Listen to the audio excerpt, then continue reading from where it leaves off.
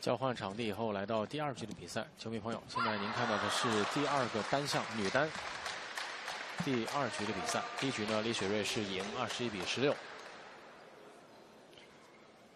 八一队今天是在主场由李雪芮迎战江苏队。江苏队女单王诗娴。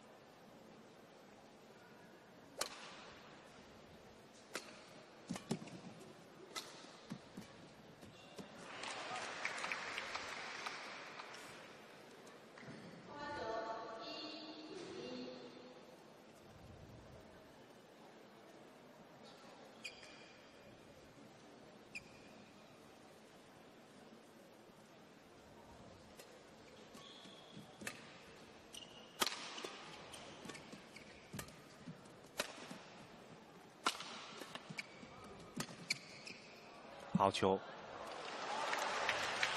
我们可以看到，刚才李雪芮在一个失去重心的情况下打到了拍框上，之后呢，他是迅速的调整过来。刚才这个球呢，也是砸在了界内。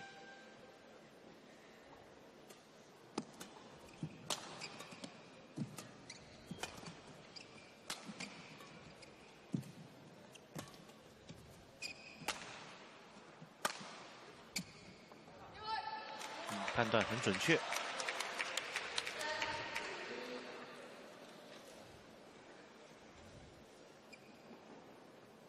李水瑞刚才这个反拍的质量很高，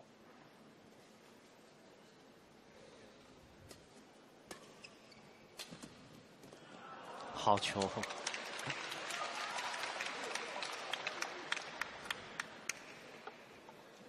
这个滑板是。其实李雪芮刚刚这个球呢，也是步伐没能移到位哈，也是通过了一个头顶位的比较勉强的滑板，但这个球呢，这个动作做得非常的好，所以呢，这个球是质量很高。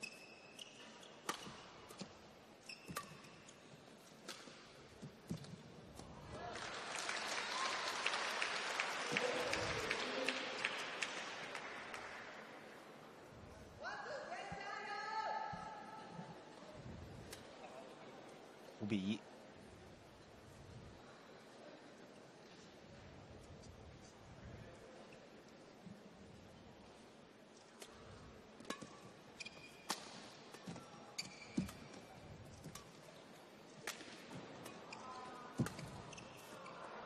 漂亮。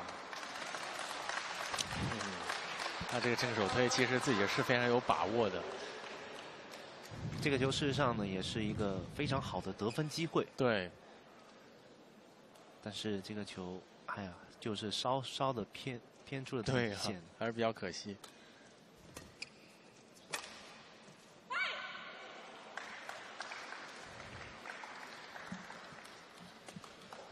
这个大家要求都非常高。对，王世贤刚才这个落点也是砸线球，几乎是。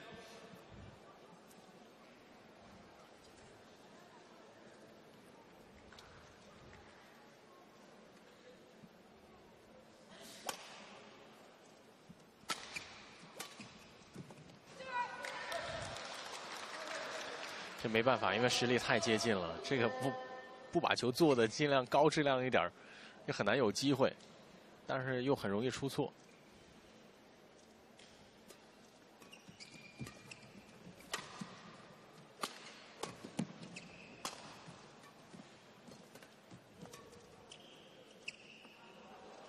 好球！金水月没有刻意的要把网前推的很有质量啊。用的几个放网其实都是战术放网。事实上，李雪芮对，事实上李雪芮更应该的把这个球给拉得更开一些。嗯，打的这个球还是弧度还是一个问题。嗯，对，的确有。前面的比赛就是他对王世贤的第二场的比赛也出现这个问题哈。嗯，角度弧度给的不太够。对。但是会不会也考虑到，如果抛物线给的太足的时候，就是给王世贤更多的。步法的调整的余地，这样的话，如果平一些，球速会更快。但是如果是平一些的话呢，这样的话自己的防守压力也会增大。那也是，就是王世贤杀的可能更舒服。好球。这中国女单的手法的功力啊，这相当可以。这两位打得非常好。这个球要是放过去的话，王世贤真的是不好打。对。那李雪芮打的相对来说还是比较耐心的，她现在还是能尽量的去限制对手。你看这个往前有几个球都是打的很耐心，对，把对方先的的站位啊先引上来，再做后场的处理。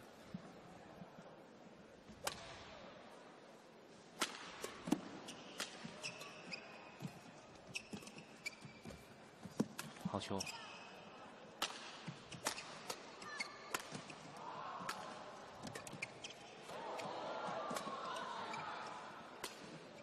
非常漂亮的滑板，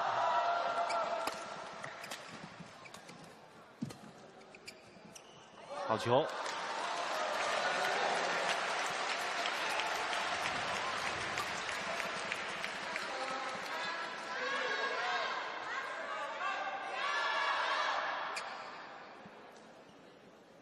双方是充分的利用自己各方面的特长去调动对手。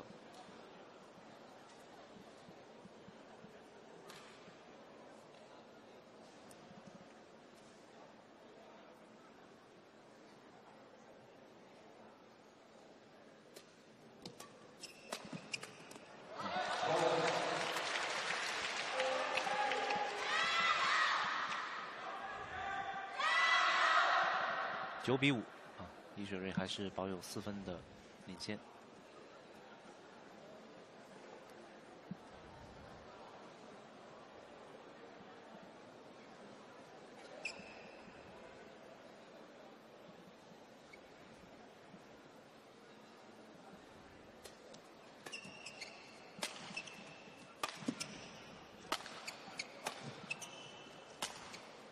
好球，这几个球的质量都很高。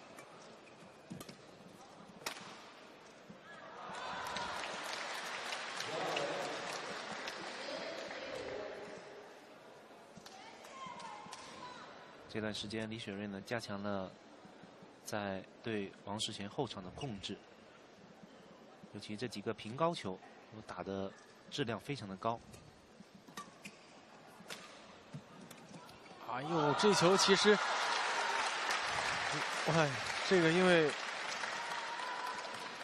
王世贤还是比较就是比较稳妥，先把这球回过来。实际上，这个球有点出界的嫌疑。对对对对。李雪芮其实这个球呢也是意识到了，这个球应该是个出线的球，所以自己都没没做好连接准备了。嘿，但是没想到王世贤还是把球给回过去了。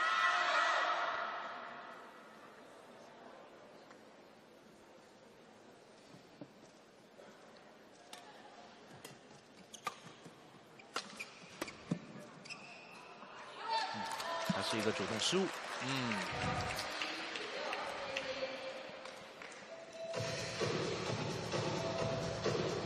总体感觉王世贤呃在整场比赛他的一个线路还是比较单调，是，然后采取的这种下压的机会，包括这个点的选择，还是没有李雪芮的多，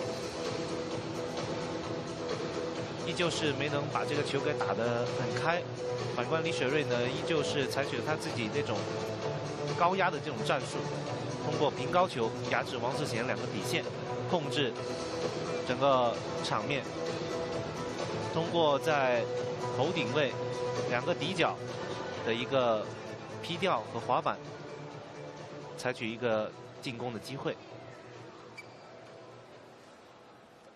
对于王世贤来说，呃，更应该耐心一些。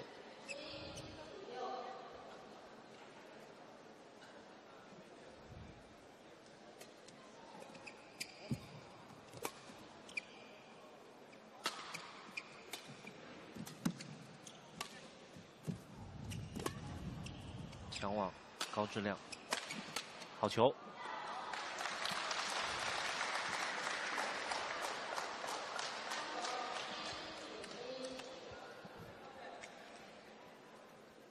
刚才这个正手位的突击打得非常好。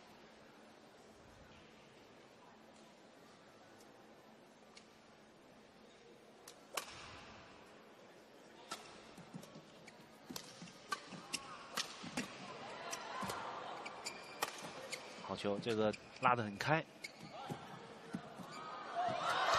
球球，李雪芮还是把球头给找到。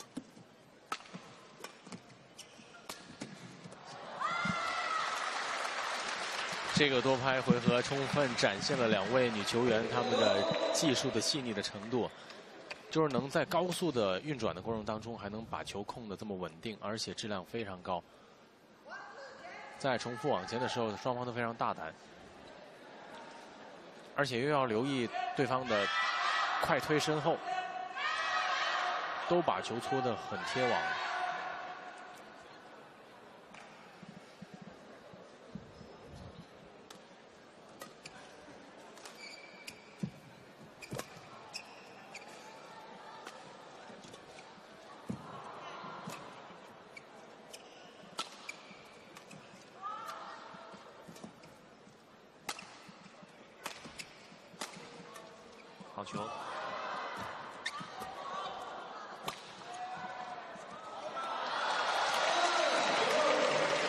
是压身后和打侧转呢，打的比较到位。事实上，这个球呢，对于李雪芮来说也是比较难受的，是因为大范围的这种调动，让他确实是这个跑动有点吃力。但这个球呢，是确实是王世贤没能坚持住。嗯，他抢点抢的很快，李雪芮，而且刚才这个快推啊，做的非常漂亮。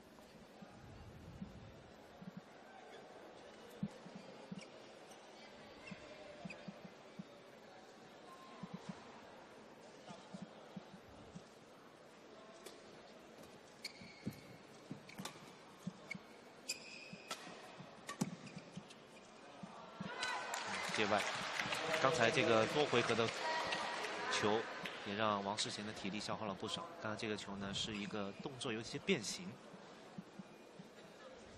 导致了出界。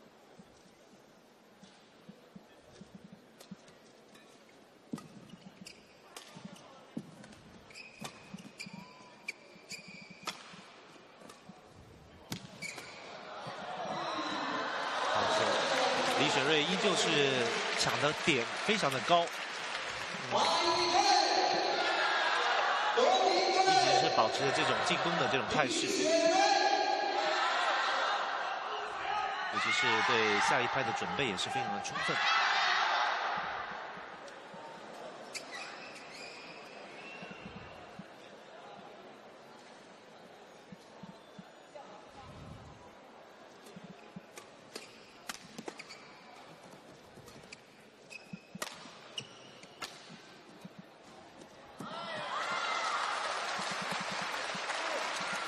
体能现在也是一个比较关键的因素。李雪芮既要保持这种进攻的态势，但是与此同时呢，她的体能的维持，包括刚才她整个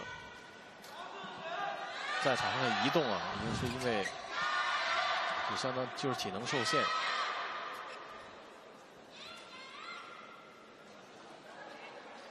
不但实力接近，而且两位球员呢在现场有大批的粉丝啊，各自都都有一帮支持者。接弯，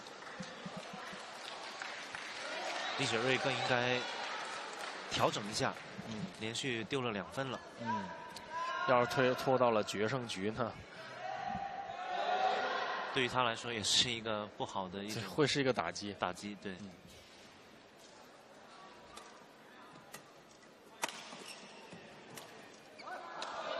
王世贤还是把想把球打得更刁一些，质量更高。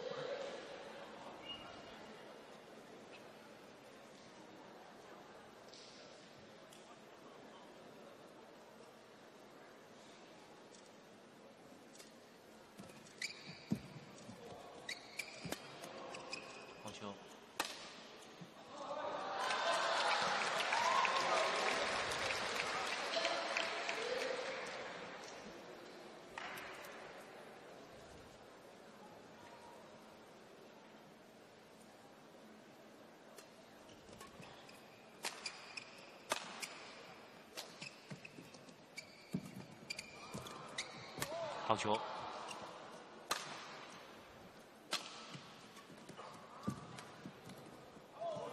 哎呦，非常漂亮！哎呀，好球！还有，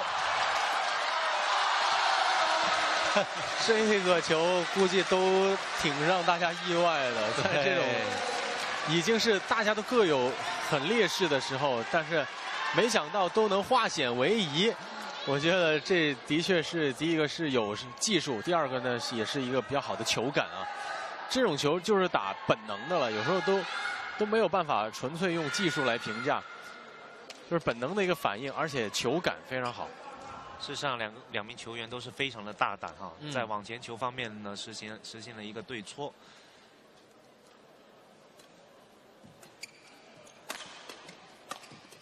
嗯王世贤突然加快了一个自己的进攻，而不是一味的打拉掉了。现在是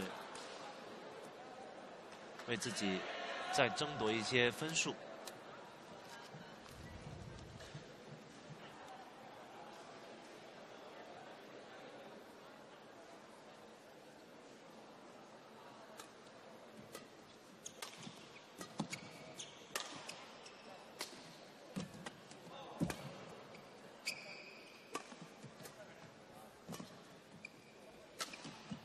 好球！李雪芮的这个动作的一致性和隐蔽性确实非常的强。那么在头顶位，刚才王世贤呢还是以为李雪芮会打一个平高，但是采取了一个下压的战术。这个球打的是意想不到的。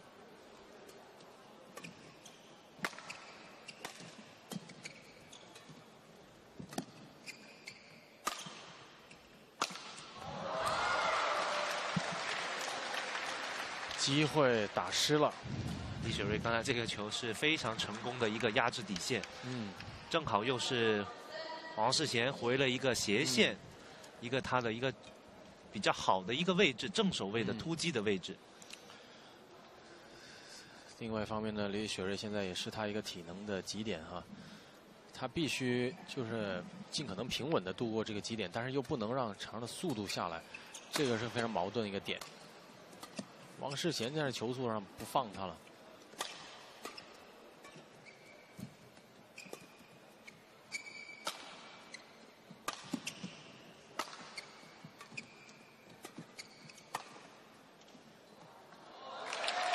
判断非常准确。对，因为分数上其实是李雪芮领先，所以他其实在怎么度过这几分，也是考验他功力的时候。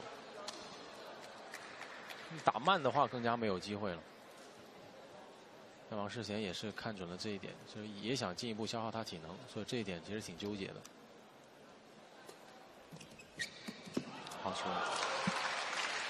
你看这个李雪芮的体能啊，现在已经是到了一个非常难受的一个点了。这个上网都非常难受，这个时候也很容易出现受伤。对，所以有经验的运动员也也必须是就是在尽可能过度平稳过度的情况下，还是保护好自己的身体。所以李雪芮一定要乘胜追击。对如果是拖到决胜局的话，对他来说是非常不利的。对。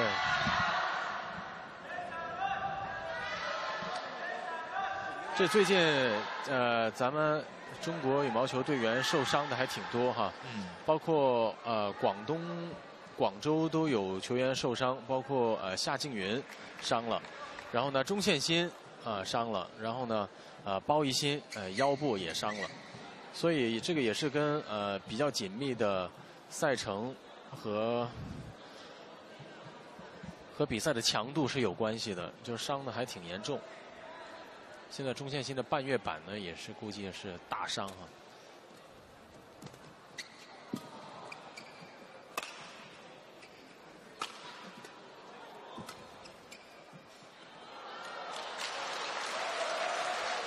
这个球应该是在界内，对，十九比十四，啊，还有两分。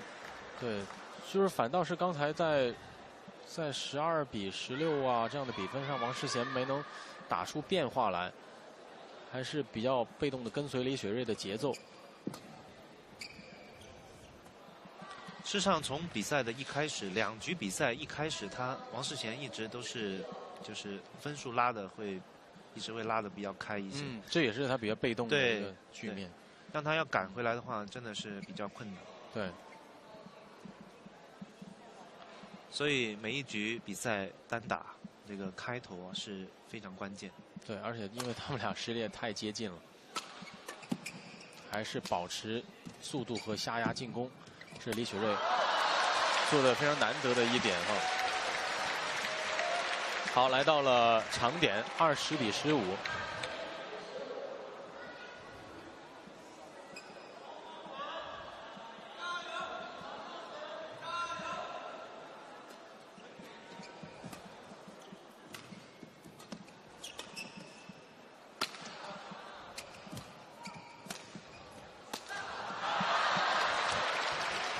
太可惜了，这个球。对。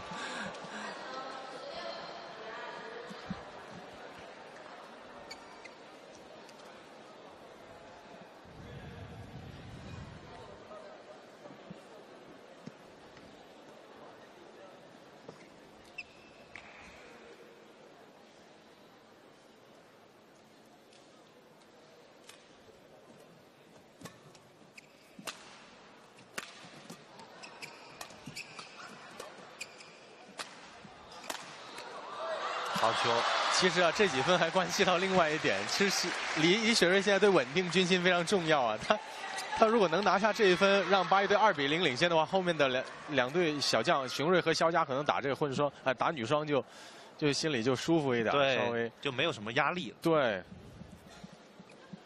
后面还有一场女双哈，紧接着，嗯，熊睿、肖佳对孙小黎和汤清华，那对手是非常强大的。嗯，哎，这个有可能，这个看主裁的一个这个。这个判定了，嗯，还判重发，嗯。好的，那么这场比赛呢，连下两局，李水芮二十一比十六和二十一比十七，为巴东林集团队再拿到女单的一分。